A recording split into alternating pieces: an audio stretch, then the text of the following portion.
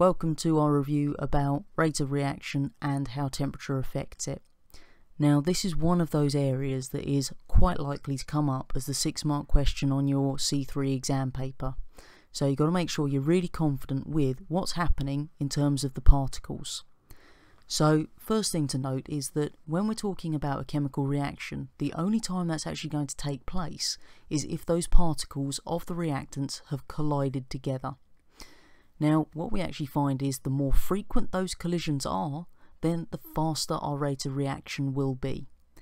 Now, if we think about heating things up, anytime we increase the temperature, what we're actually doing is transferring energy to our particles. So what we're giving our particles then is more kinetic energy, which means that they're going to be moving faster. At any point that our particles are moving faster, that means we have more frequent collisions. And that's the phrase you've got to get in your head, you've got to use in your exam paper. You can't just say that there are collisions.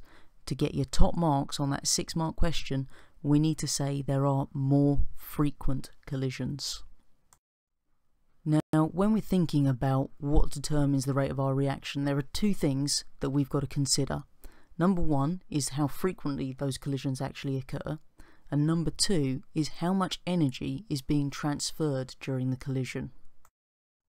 So linked into that, if our temperature is actually too low, then what we find is even if our particles collide, they might not have enough energy to actually react.